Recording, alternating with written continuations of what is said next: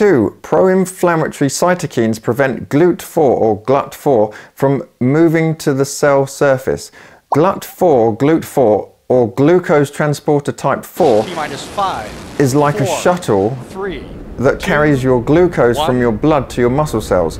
Normally, insulin activates the PI3K or and AKT pathway, which moves GLUT4 to the cell surface. But inflammatory cytokines block this process, meaning glucose stays trapped in your blood instead of being used for energy. Interleukin 1 beta cytokines decreases, decreases the expression of your insulin receptor substrate 1 or the IRS1 and it inhibits your GLUT4 translocation to the plasma um, membrane. Levels of interleukin 1 beta are increased in fatter or obese people and in, pe in people with non-alcoholic fatty liver disease or type 2 diabetes patients and patients with metabolic syndrome.